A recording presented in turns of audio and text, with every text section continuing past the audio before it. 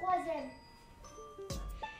Vous pouvez réutiliser les déchets pour ne pas polluer l'eau, les océans ou l'air.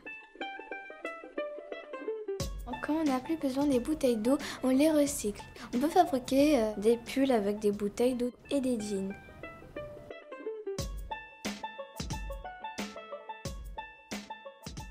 On peut transformer cette bouteille d'eau en nichoir pour les oiseaux.